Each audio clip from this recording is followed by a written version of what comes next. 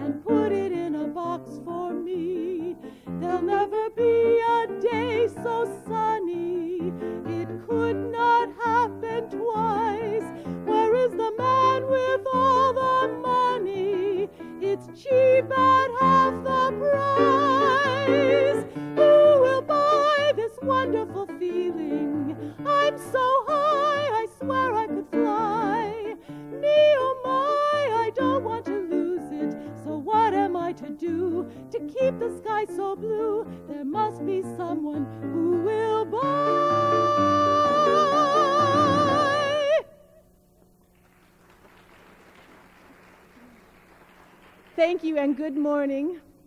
All of these tunes have something to do with money. So if you listen, this is the economics day. So you, if you listen carefully, you'll hear what's going on in the music that relates to today's topics. The next song is the only one I'm going to introduce, and I'm going to set it up a little bit for you. This is Oh Happy We from Leonard Bernstein's Candide. In this song, two people are talking Candide, who is the philosopher, and Kunigunda, who is the, uh, the slave girl that he finds they've decided to settle down and get married. But they have totally different ideas about what makes a happy married life.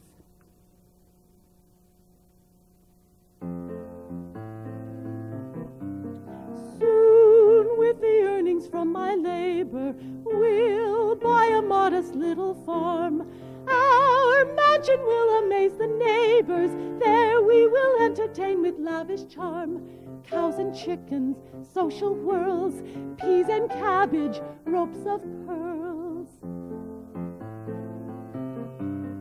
Soon there'll be little ones beside us. We'll have a sweet Westphalian home. Somehow we'll grow as rich as Midas. We'll live in Paris when we're not in Rome. Smiling babies, marble halls, Sunday picnics, costume balls. Oh, won't my robes of silk and satin be chic? I'll have all that I desire. Pangloss will tutor us in Latin and Greek while we sit before the fire. Glowing rubies, glowing logs, faithful servants, faithful dogs.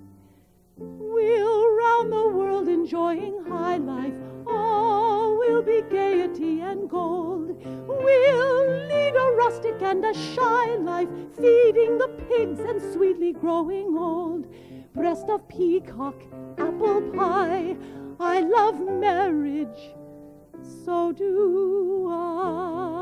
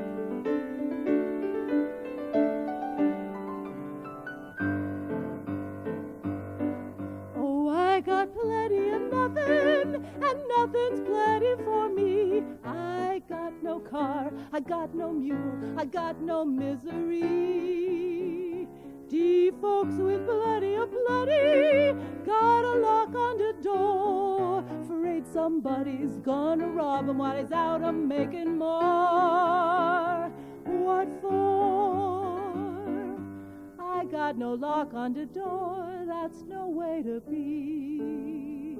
They can steal a rug from the floor, that's okay with me, cause the things that I prize, like the stars in the skies, are all free.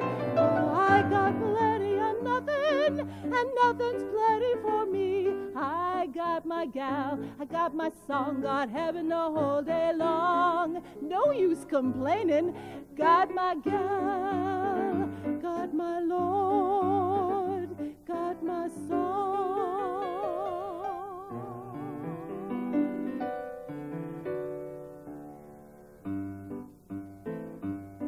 Oh, I got plenty of nothing, sun, I got the moon, I got the deep blue sea. D folks with plenty of plenty, they gotta pray all day. Seems with plenty, you sure gotta worry how to keep that devil away.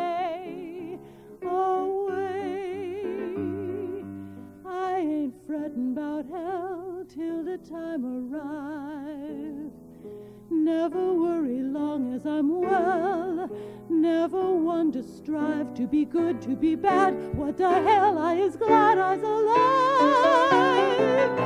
Oh, I got plenty and nothing, and nothing's plenty for me. I got my gal, got my song, got heaven the whole day long. No use complaining. Got my gal, got my Lord, got my song.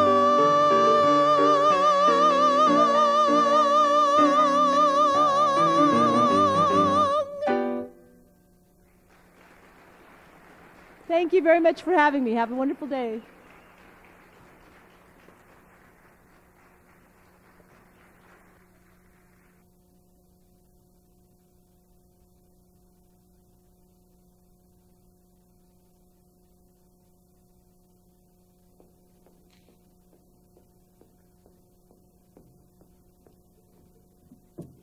Again, I'd like to acknowledge our soloist, Scarlett Hepworth, and also our pianist accompanist, who is Deborah Gregor Odell. Let's give them another hand.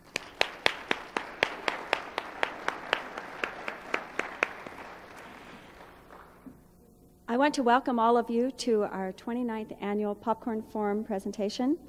My name is Dorinda Moore, and I will be your host today for our time this morning, as well as for our panel time this afternoon at 1 o'clock. So, welcome to all of you as we begin our journey through time. And this year's concentration is what happened in the Western world during this past millennium. As you look at our panels behind me, you'll see that each day we will be focusing on a different topic. Yesterday, if you missed, we concentrated on science and technology. Today, our topic is money, money, money, money, uh, the economics, and how that has affected us through the millennium. Tomorrow, we'll be focusing on religion, arts, the uh, music. You won't want to miss that as Martin Luther will be our keynote speaker tomorrow. And then on Thursday, we'll focus on democracy, emancipation, and how that has affected us. And then finally, on Friday, we will uh, pull all of it together as we have a roundtable discussion. And at that time, we will pull all of the different disciplines together and find out how they affect us today. If you haven't yet received a program, they're at the doors uh, all over campus, actually. So please be sure to pick one of these up so that you know exactly where you want to be at what time. Uh, there are different time starts. Today is 9 o'clock, tomorrow is 10.30, so you'll want to focus on that. So sit back, relax, and enjoy as we begin our travel. And students, you can completely relax because there's no test at the end of this little performance. Uh, Parents who are out there, uh, you don't have to bring out your checkbook, even though this is Economic Day, uh, because everything is free. So be sure to remember that. And for you uh, who have come in from the community and oftentimes come to uh, Schuler Auditorium for our programs, it's easy for you too because there's no reservations required. And as just a bonus, because we are the Popcorn Forum, there's free popcorn this afternoon at 1 o'clock in the new renovated sub, which will be up in the upper level of the Crescent Bay room. Our panels will begin at 1 o'clock, and there again, free popcorn. It doesn't get any better. No test, no money, free seat. Be sure you attend all of the program. our format today will be our keynote speaker, whom we are fortunate to have with us today, James Watt. And he will come out and speak to us for about a half an hour. And then at the end of that time, he will answer questions from you, the audience. So be kind of keeping some thoughts in your mind as to what you might like to ask him at the end of that time. And then he will break character for a few minutes and speak to you as Dale Marcy and explain to you some of the things that he could not explain to you as the character James Watt. So that will be our format and we will be through in an hour. So, with that, I would like to introduce our day of economics. And economics is, we all think of, I think, money when we think of economics. The Webster definition defines it as this the science that deals with the production, the distribution, and the consumption of commodities.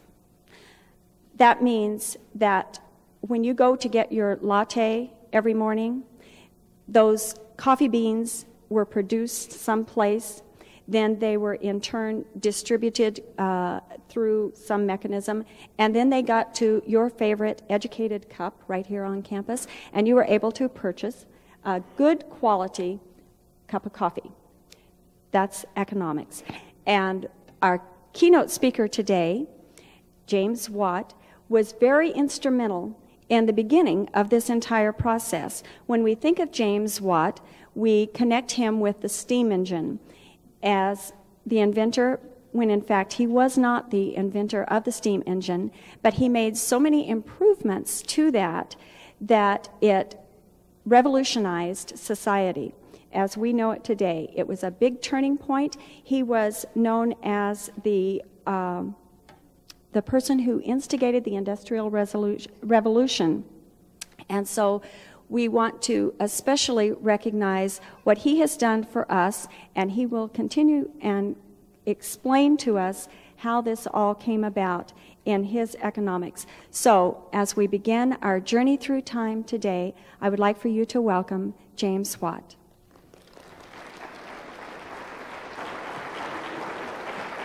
Thank you, Brenda.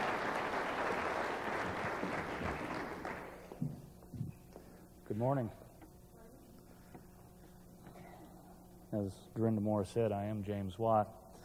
I was invited to speak with you this morning about a time in society that has become known as the Industrial Revolution. Uh, please excuse my nervousness. I was only a humble inventor. I really was not accustomed to speaking to large groups of people. I had to do so on occasion to ask for patents and also to request patent protection. Many times I needed to go to speak to Parliament and I also had the, the very difficult task of dealing with some of the mine owners who needed to purchase my inventions. And they were very tough to deal with, and I did not like that. I really enjoyed my time in my workshop much more. I like to invent, not necessarily speak. But Tony Stewart asked me if I would come and talk with you today. And so I consented to that. And as the during the introduction, uh, I should clarify with you that I did not invent the steam engine. There were many changes that had occurred in society prior to the invention of the steam engine that, that brought about its creation. The steam engine was a very complicated piece of machinery, and at the time that it was developed in the 16 and 1700s, there was not the mechanism in place in society to produce such equipment. So there needed to be changes in society before such complicated machines could be constructed reliably. The development of this technology was in England. These, these changes were brought on in England by the desire of the people for a more comfortable existence. There were changes that were occurring in politics, in banking, and in natural philosophy. Uh, natural philosophy is what people of this time would call science. The age of individualism, capitalism, and materialism was beginning. This was at the end of the reign of the Tudors, the royalty of England that ruled from the early 1500s until the beginning of the 1600s. During the time of the Tudors, the economy of England was changing from one of subsistence agriculture to one of industry. The cornfields were being re- replaced by sheep walks that supplied the materials for the woolen industry. Mines were producing iron and coal and tin. Land holdings were changing. Uh, prior to that time, the majority of the land was owned by the royalty or owned by the church. And during the Tudors, the land holdings were changed um, more to individuals in the society. But such transitions don't come easily. And so, favorites of the, the court would receive the land. And then, with the land, the money that was produced from the land could go back to the sovereign there were already some inventions that had taken place in society that helped change the society at that time. One of them was the mariner's compass that allowed the movement of humans farther away from the shore so humans had a larger concept of what the, the earth was like. The art of printing had already been developed, so communication was available to those people that were schooled. And gunpowder had been invented, which in some ways was bad because it allowed warfare on a more dangerous level, but it also allowed expansion of a use of energy that was not available to human beings previously. England at the time had great monopolies that were forming. If the sovereign had a friend, uh, the sovereign might grant that friend the sole right to either import or produce a material for society, uh, such a common thing, such as soap. And if you had the sole right to import soap, then of course you had the right to set the prices, and that means you could large, uh, accumulate a large amount of wealth. And then, well, of course, you had to share that wealth with the sovereign. But there were some very blatant violations occurring in the, the realm of monopolies. And so Parliament decided that there needed to be some action to control the monopolies, and so a law was passed in 1624 called the Statute of Monopolies that attempted to control the distribution of sole rights. This was the basis for the patent system, and even though it was flawed, it did promote true invention because the only people that could earn a patent were those people that, that did have the first idea and got recognition through Parliament. The concept of money was coming about. The panel this afternoon, there are going to be several of the speakers that talk about the development of money. I really wasn't much interested in it myself, at least not as far as how it was developed. I was more interested in how I could get some because I needed some money to bring my ideas to the marketplace. And some of my ideas were rather grandiose, and so I needed large amounts of money. So it was fortunate for me that the banking system was developing in England in the 1600s, and by 1694, the Bank of England had formed, and a year later, the Bank of Scotland. There was also a phenomenon happening in England known as the formation of, of charter companies. This meant that industrialists could take their money and buy into one another's companies and expand the holding of those companies. Uh, this was very good for me. With a, a, banking system with charter companies available, it allowed an avenue for my ideas to come to the marketplace. This was also the, the time of a change in the way that science was done. We called it natural philosophy at the time in Western culture, from the, the time of the Greeks, men would look at the world around them and observe what happened. And after making a large number of observations, the men would then conclude how nature was behaving. And this was called natural philosophy, the philosophy of nature. By the 1600s, the world of natural philosophy was changing. Instead of just looking at nature, observing nature, men began to think up experiments to investigate nature. For instance, the Honorable Robert Boyle, who was an Englishman, at this time conducted some experiments with confined air. If air is placed into a glass container and some mercury placed on top of the, the gas so that it confines the gas. As more pressure is put on this confined gas, the volume of the gas decreases. If some of the mercury is taken off the top of the confined gas to relieve some pressure, the gas expands. To you folks, this probably doesn't seem like much, but at the time, this was a remarkable observation.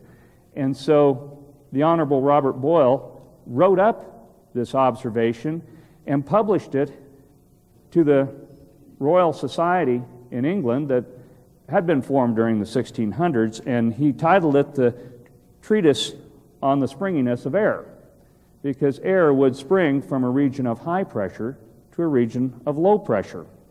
This may not seem like much, but to me, as I was doing my work, this was going to be important for my inventions. Many changes were occurring, but these changes were all powered by four energy supplies. One of them was human power, one of them was the power of domesticated animals, and there are problems with those. Everybody that's worked for a living knows the problems of humans and of animals. We don't have much strength. so we can't have much concentrated power. And we also need to rest a lot. And so, for large power supplies, it was necessary to, to locate another source of energy that would provide continual power. So, two other power sources that had been developed by the 1600s were wind and water power. Well, uh, again, you can see the problems with wind and water power. The wind doesn't always blow, so even if you have a very nice windmill, it doesn't turn and give you power if the wind isn't blowing. And a lot of terrestrial landforms don't have water on them. So that means that all of your other power supplies are either located in very windy areas or right close to a, a moving water supply. So there was a demand for these industries that were developing in England to find another source of power. And that was taken up by many men at the time. As with any change in science or society, many great minds work on it at once. And that's no difference with the invention of the, the steam engine. Many men before me and at my time worked on the development of an engine that would use the weight of the atmosphere and fire to, to produce work. So, what about the weight of the atmosphere? In 1643, an Italian named Evangelista Torricelli had published a treatise on his mercury and water experiments that showed that the atmosphere would balance a weight equivalent to 28 feet of water. Well, that's a lot of, of weight, and so inventive men said, well, how can we use this tremendous weight of the atmosphere to do work for us?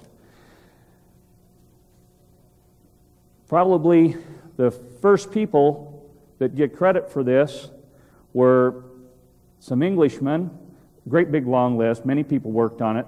Uh, the goal of these first men were to move water, because if water is where you want it, of course, you always want it somewhere else, especially if you want to drink. So, one of the, the challenges was to move water as drinking water, and another one was to remove water from mines. With the advent of industry and with the technology that was being developed at the time in the metals industries, minerals need to be, needed to be procured from the earth. And as humans dug deeper in the earth, sure enough, you hit water. And it was very inefficient to try to get a draft animal on a turnstile to use a Archimedes screw and lift water out of the ground. Flooded mines don't produce much coal or much tin. And so the first development of the steam engine on large scale was for the movement of water. And I have, am trying out some technology that I'm, I'm not that familiar with. I hear that nowadays we can project pictures on the wall, and so I'm going to try that and show some slides to maybe help you understand something about what a steam engine looked like in my day. And so hopefully this is somewhat visible around the room. This is a steam engine that was erected. It says up here that nobody can read, but I can tell you what it says. It says that this was erected in 1712. Well, this was before my time. I can hardly take credit for the steam engine when I wasn't born until 1736, and this was already operating in 1712. The reason I include this slide is to give you some idea of the magnitude of these machines. Notice we have this human down here, and I have somebody else uh, with a laser pointer helping me. Thank you very much. Uh, we also, you can see the size of the firebox. This is where the coal would be thrown in the firebox. Steam would be produced, and the steam in this cylinder would cause energy to be transferred to this beam, and the beam would raise and lower and pull water out of the ground. This is the smokestack.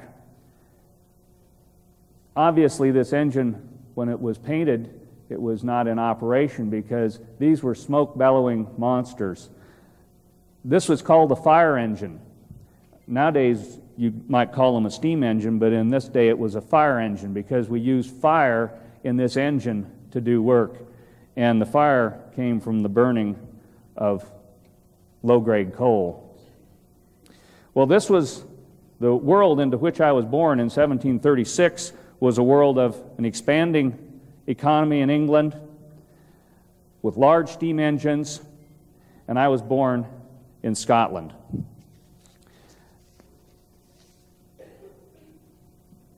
My, my start in life was not a good start. I was not a very healthy child.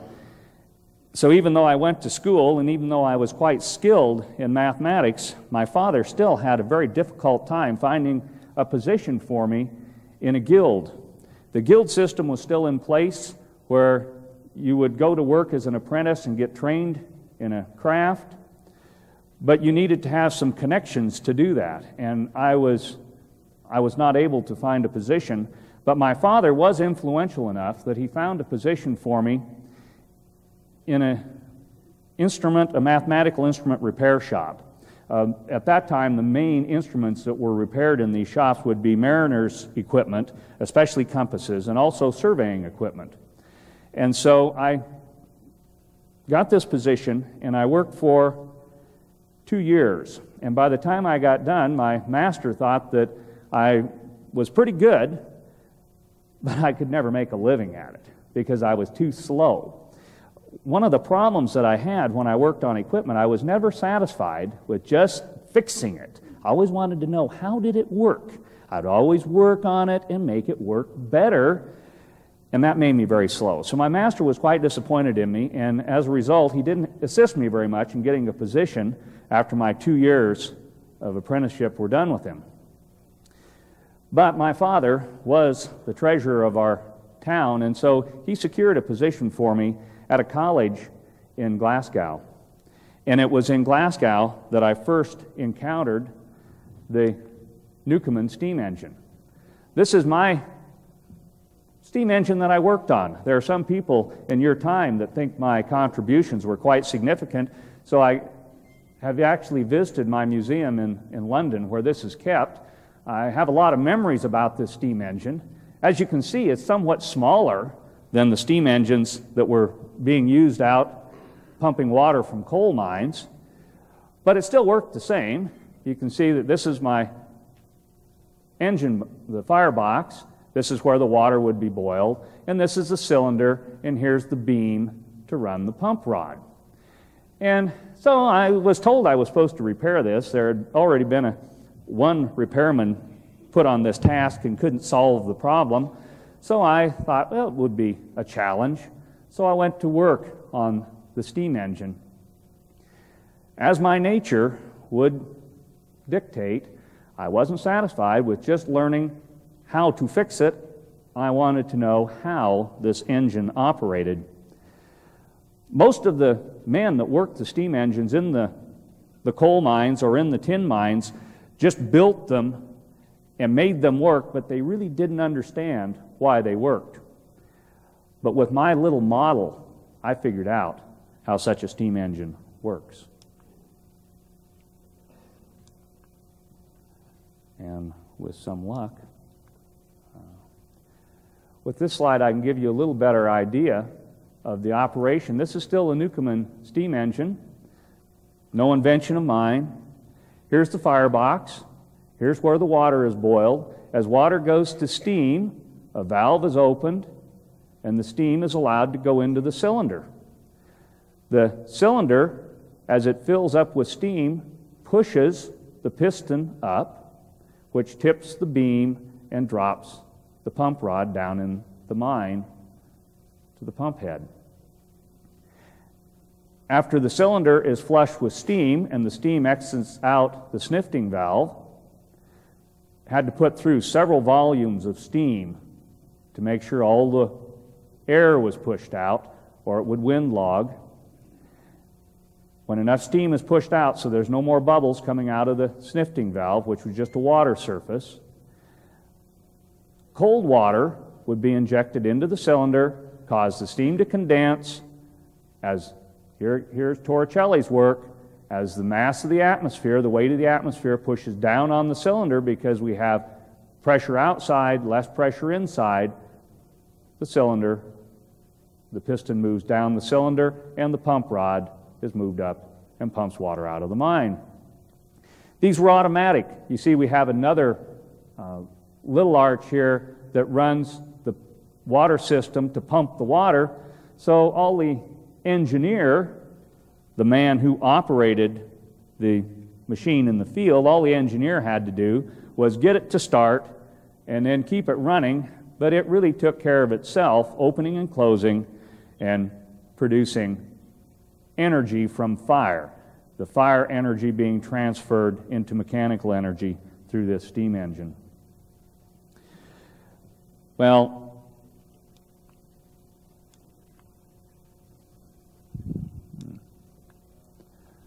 with my little engine, I figured out that this was very inefficient.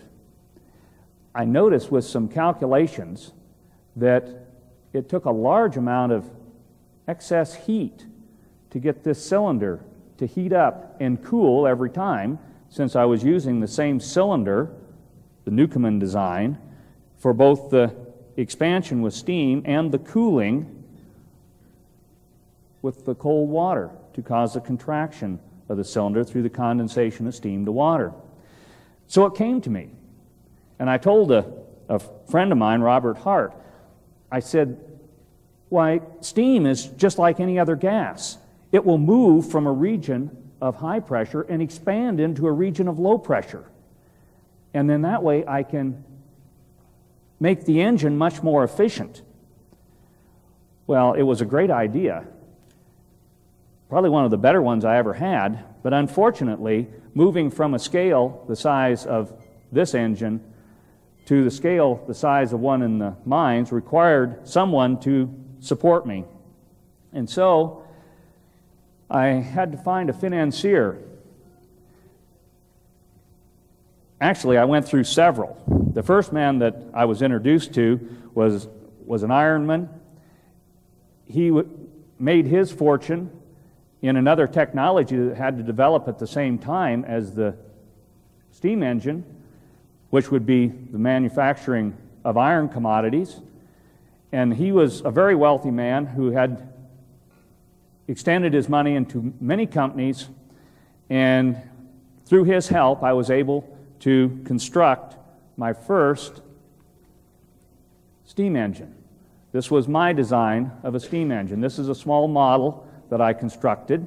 And my engine was different in as much as I built a more efficient firebox. I still took the steam out of a boiler, put it into a cylinder, but now, instead of condensing the steam in this cylinder, I had a separate condenser.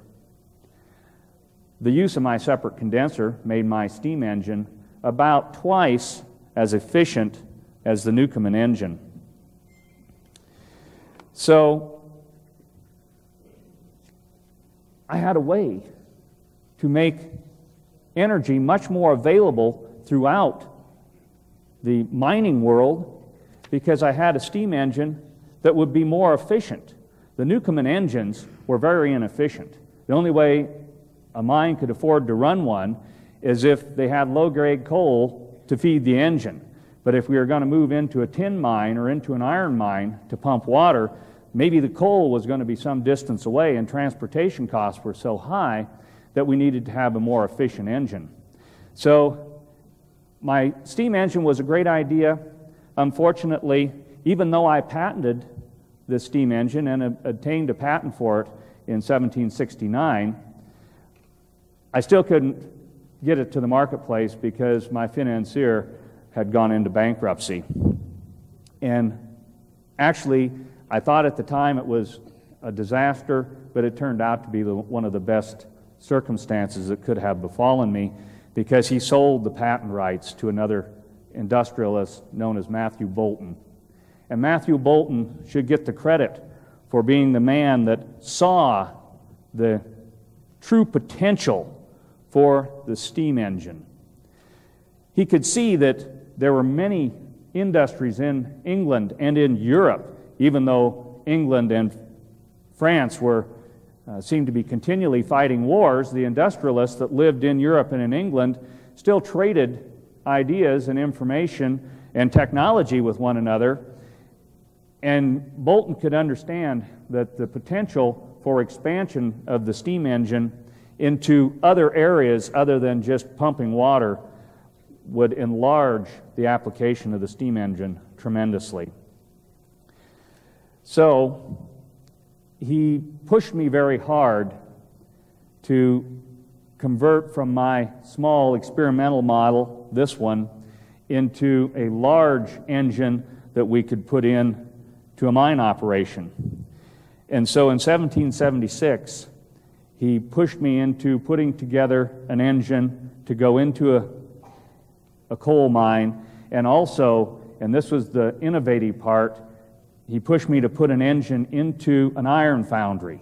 So there was no need to pump wire, water in a foundry. It was put on the end of the, the bellows. So it was the blower, it was a blowing engine that would blow air into the, the firebox of a foundry to increase the temperature of the fire. And it worked. Now, this is really quite amazing. You, you might go, oh, you didn't. You'd be expected not to. But at the time of this technology, each engine was a unique engine. The cylinder would be made in a foundry, it would be hauled to the site where it was going to be erected. All the valving, all these valves would be manufactured in a plant, but they were manufactured by individuals who were craftsmen. So each one was unique. And so the costs were very high, and the, all these engines were very challenging. One of the jobs that I had as I worked for Boulton in the 1780s was assembling these engines. And this was a very trying time. Travel in those days was a little different than what you have as you arrived on campus today. It was a very grueling thing to travel 10 miles. We'd get in the carriage, we'd ride over the rough roads, the bad weather. We'd get to the, the city where we were supposed to stay the first night.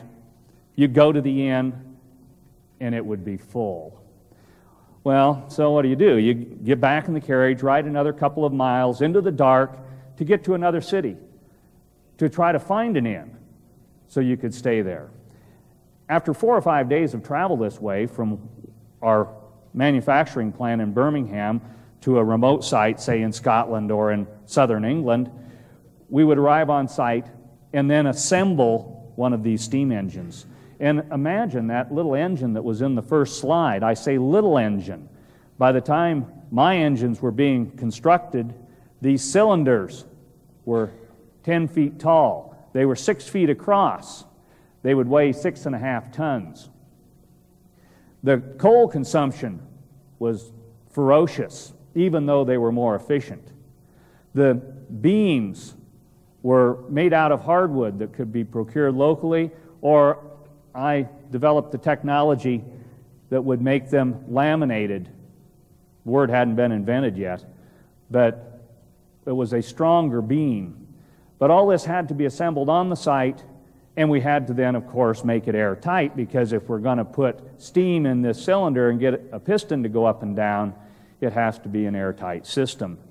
And I dreaded this part. Show up, there'd be a bunch of belligerent miners. They wanted the engine to work immediately, and I would struggle. And I would spend many days erecting each engine. And I would tell Matthew Boulton, I'd say, if I'm going to be of value to this company, let me go back and work in the, my shop. Get someone to help me. So finally, he decided that I really was more useful full time in the shop doing development than I was out in the field setting up engines. So he hired another Scotsman to help me, a, a man named William Murdoch. And he was an interesting Scotsman. He was a man of temperance, which was rather odd. And it made it so that he could actually show up on site and stay sober and assemble an engine. And he was a, an excellent engineer. He understood. I could teach him how an engine worked, and he understood, and he had his own ideas. So he contributed ideas so that we could continue advancing the quality of these steam engines.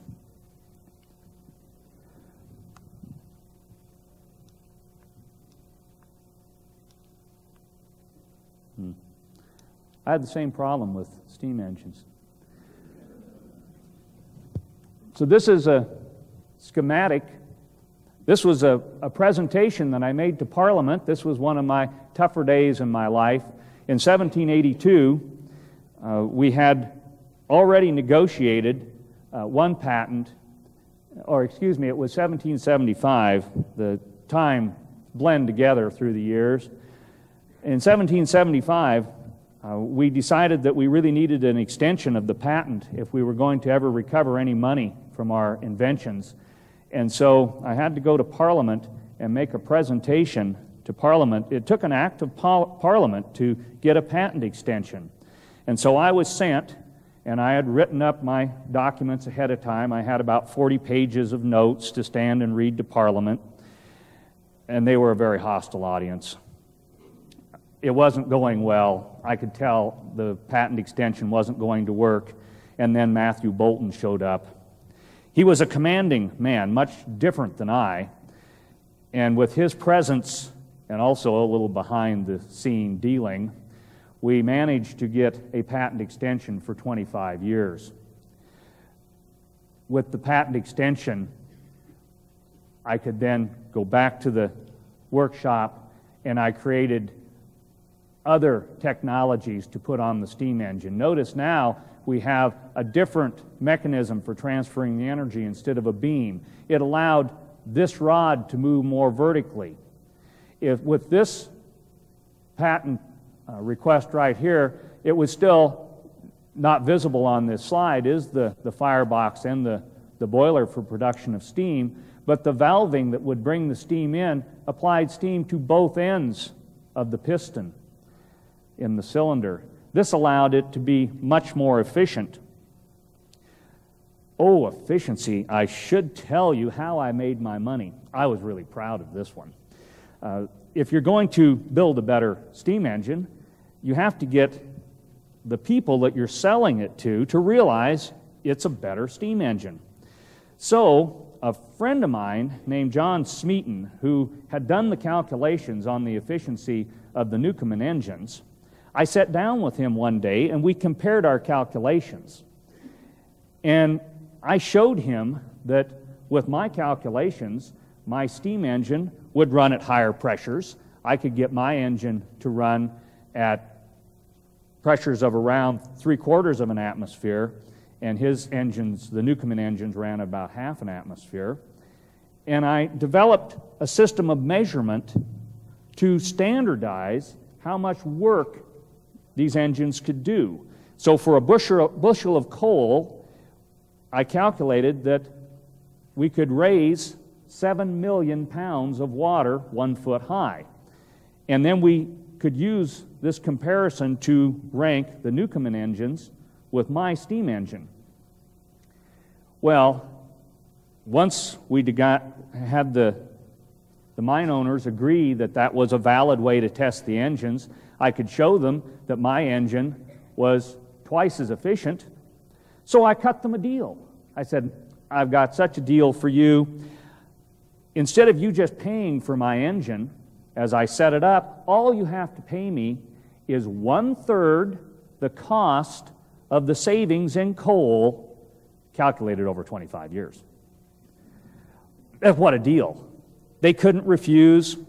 So many regions in the country that needed a steam engine that did not have access to low quality coal would set up my steam engine because it was more efficient, and then they could pump water out of their tin mine or out of their iron mine. Well, I, I keep saying bad things about the miners, but you know, one mine owner would sell the mine to another man. My steam engine would be set up in the mine. And the new owner would come to me and say, Well, why should I pay you? You know, I, I still got 10 years left on this contract. You're a rich man. You don't deserve any money. And so I was in continual difficulties with the mining companies to try to, to obtain what I considered to be rightfully mine payment for my engines. Like I say, I, I was not a very good public speaker And when you show up and have to deal solo with four or five miners who are very wealthy and have gotten wealthy using my engine, sometimes I would become very frustrated. That's one reason Matthew Boulton consented to hire Murdoch to help me, to keep me away from the miners. Also, Matthew Boulton realized that Birmingham, Manchester, and London were steam mill mad. There was opportunities for steam mill development throughout England and Europe. So he wrote me a letter and said, I don't mean to hurry you, but I think in the course of a month or two, we should determine to take out a patent for certain methods of producing rotative motion from the fire engine. Well, okay. So he pressured me a little bit, a month or two. But I also had had some ideas of how to take the vertical motion from the steam engine, this is the same bar off a steam engine, and now I apply it to a crank and to some gears and to a flywheel, and I can transform the vertical motion, the reciprocating motion, into a rotative motion. And this is where we really made our money. Now we had a method of taking power to the granaries to grind the grain, to the woolen industry to run the spindles, because mechanization in the woolen industry had already occurred. There was already some interchangeability of parts had been developed so that you build one woolen machine and you could fit many different parts into it between machines. All they needed was a power supply, and here was the way to get the power supply. So, when I was supposed to talk about economics, I guess I should talk a little bit about the economics. I was not an economist, but I understood that you needed to have some avenue to get money, to make money, and then you needed to have some way to make money over time. And so, with my inventions, of the steam engine, when we, we build our foundry and our manufacturing plant in Birmingham, we, Boulton had the vision that if you could interchange parts in a woolen machine or in a, a cotton gin, as was being done over there in the colonies, then why not interchange parts in a steam engine? So, in our manufacturing facility in Birmingham, we developed the technology to make valves that were standardized. And then we could take our valves for the steam engines out and place them on any engine. Didn't have to be ours, it might be a Newcomen engine because there were still both kinds of engines being used. Oh, yeah, by the way, we also took a royalty off every one of the valves. One of the partners we brought in to this business with us was a fellow named Wilkinson, who just happened to have the patent and the technology for boring the cylinders very uniformly. See, it took many changes in society to bring our steam engine into power production for society. We had to have changes in banking, we had to have changes in how to capture the energy, but we also had to have changes in how to handle the metals. And so the hammer mills that could hammer out sheet metal and then shape it, you still had to have some technology to grind it, to bore it. And of course, cannons had been bored for some time, but they were smaller. If you're going to bore a cylinder that's six feet across, that technology uh, had not been developed until Wilkinson in the late 1780s. So, of course, we brought him in as a partner, and he built our cylinders for us. With each one of them, we then had some royalties. So, I had a very comfortable life as a developer.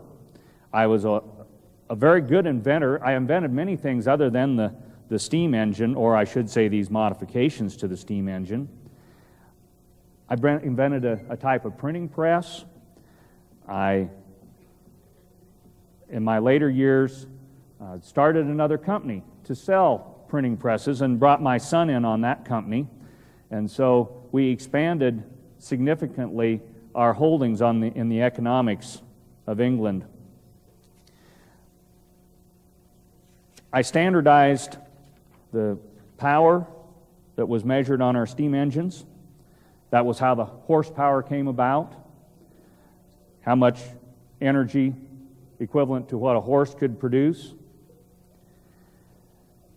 And steam engines powered the changes for the Industrial Revolution. I don't think the Industrial Revolution occurred because of the steam engine.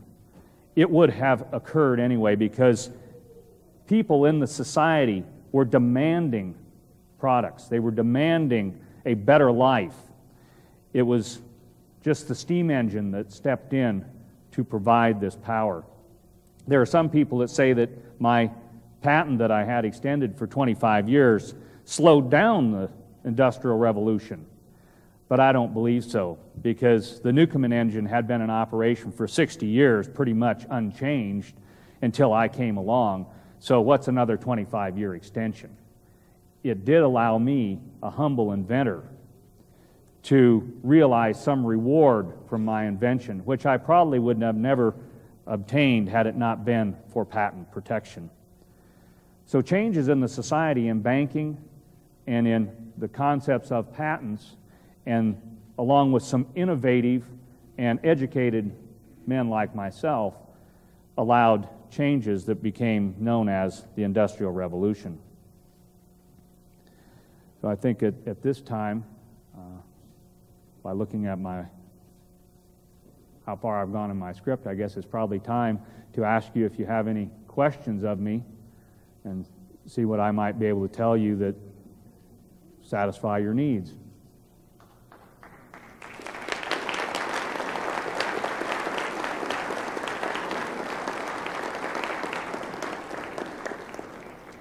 Yes, sir. Did you develop the formula for 33,000 horse, uh, foot-pounds of horsepower? Okay. The, yeah. The, the question is did I, develop the formula for 33,000 uh, foot pounds per horsepower? That, that definition, and, and actually, yes, I did. Um, we had measured, and in fact, it was known in society how much work a horse could do on a turnstile, how much poundage could be put into a, each minute by a horse. And so, if you figured that out over how long you could work a horse each day, then you could see what a, a, a horse could do. And so, I was the one that, that did that calculation. Actually, I think it came out something like 32,800. But I, you know, with the slide rule, it's very hard to carry along those numbers, and so I rounded it to 33,000 for my tables. But yes, I, I guess uh, I, a unit of measurement nowadays is known as the watt, is named after me, which I find curious because uh, actually what I developed was the horsepower. Yeah. Yes. Did I ever get married? Uh, yes, as a matter of fact, I did. Uh, I was, was married to uh, a young woman right at the beginning of, of my career. And in fact, she was uh, one of the reasons that I had to move from where I was an instrument repairman. For a while, I became a civil engineer. Uh, at that time, a civil engineer was a person who surveyed. And there was a large demand for moving water from one place to another for canals for transportation or to get water power before the steam engine was, was in place. And so uh, I starved out because I had a wife and, and a family. I starved out as the instrument repairman at the college. Even though it was a great life, I liked hanging out with the professors and talking about my inventions in natural philosophy. But because of the pressures of my family, I ended up uh, taking uh, a job as a surveyor. Uh, I was away from home when my wife passed away. In fact, I received the letter two days after she died. Uh, that was the way communication was in those days. I was in Scotland and, and she was uh, several days away. And so um, it was quite a few years before I remarried, but actually I was married twice. Yes? What city did I die in? Do I have to talk about that? Oh, that's an unpleasant thing. Um, uh, actually, I had gone back to, to Scotland, and so I was living in the countryside. I, I was wealthy enough that I didn't have to live in a, in a city. Is there other questions? Yes.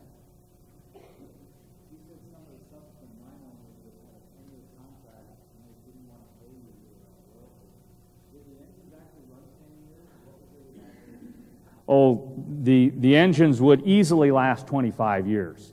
So when we set up 25 year contracts, um, it was, they would easily run. There were some of the, the Newcomen engines, when I started bringing my engines into the mine, some of the original Newcomen engines were still in operation for 50 years.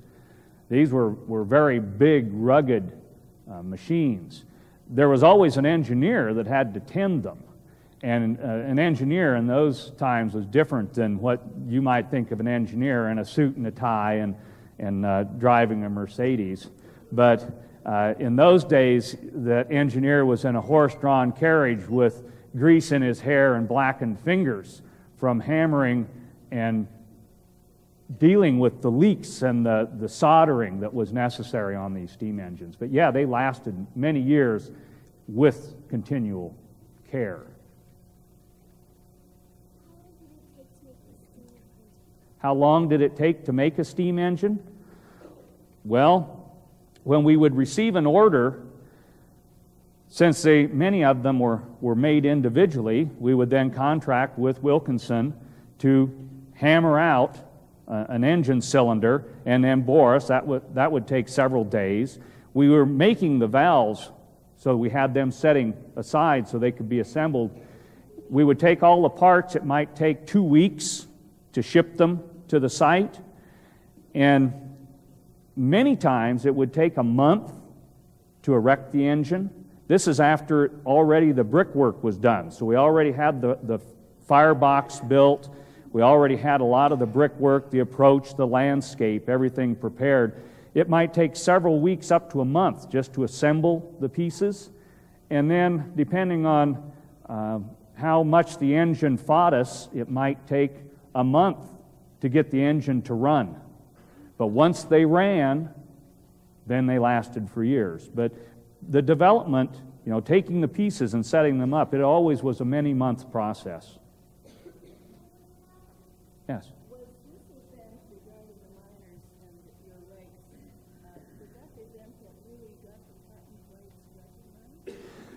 patent rights. The question is, did my interaction with the miners, did it help define the patent right interactions and protect inventors. Um, I would be egotistical to say yes, but there had been many challenges before me. In fact, I challenged some patents in what I did. I was infringing on patents. And then a disgruntled employee that we had at, at Watton Bolt, uh, Bolt Company um, moved away from us and took some ideas from us and did their own patent. And um, so we were in continual patent battles. But it was before us. But I think some of our patent fights helped define in England how to um, maintain patent rights. Uh, at that time, it did take an act of parliament to resolve a patent issue. So uh, we avoided uh, patent conflicts as much as we could um, for fear of losing. And uh, one more question. Yes. Uh, who is credited with inventing the steam engine? Who is credited with inventing the steam engine? Uh, probably the man that had the first patent should be credited, and that was Thomas Savery. On the very first slide that I showed you, there was Thomas Savery and also uh, Newcomen. Both names were shown there. Uh, again, it was this patent business. Savery had a patent for any machine that would use the epilation of fire. And his steam engine didn't work, but he had the patent. Well, when Newcomen built an engine that worked, he could then try to patent it and get into a patent fight with Savery, or they decided to team up. And so uh, the first person that should be credited is Savery. It was his idea, but Newcomen took the ideas and was able to assemble them and get them into a working machine. Okay, I probably, with in the interest of time, I probably should come out of out of character and be Dale Marcy for a little bit.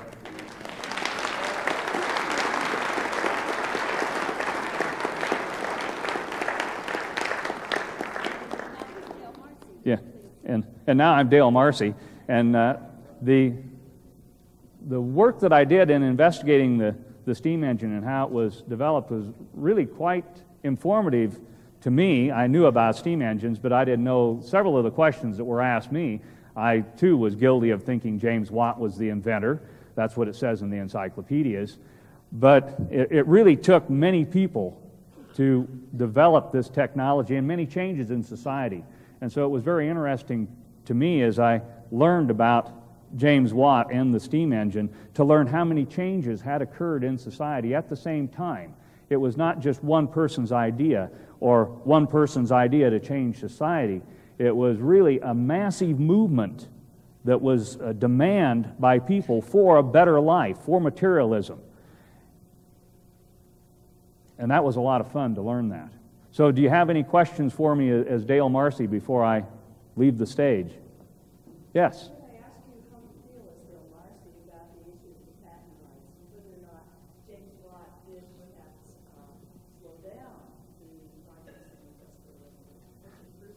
What's my personal opinion? I think it was very fortunate that he got the, the 25 year extension.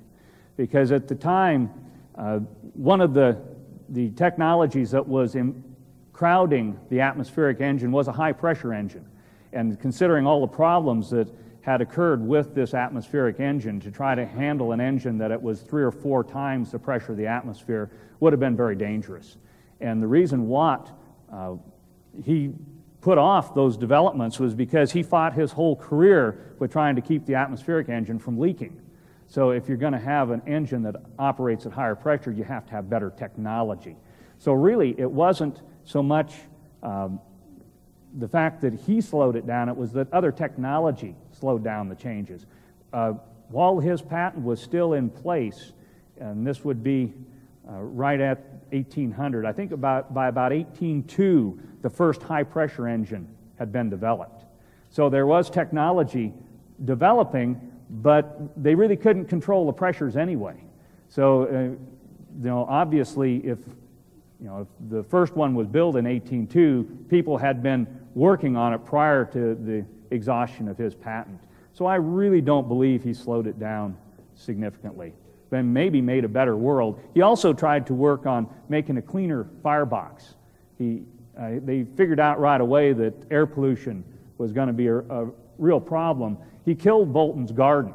His first experimental engine they built at Soho outside their manufacturing plant, as they fired it up, it produced so much smoke and particulate that it killed the garden next door.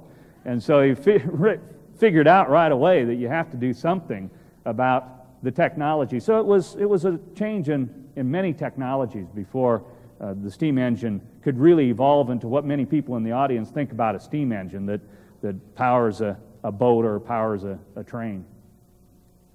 I'm sure many of you have more questions that you would like to ask.